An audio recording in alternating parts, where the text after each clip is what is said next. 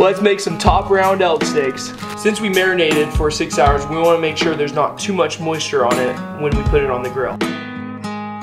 We have the grill at 500 degrees and we're putting it on for a nice sear. After three minutes, it's ready to flip. Now it's time to get it off direct heat. We put butter on. Now we rest.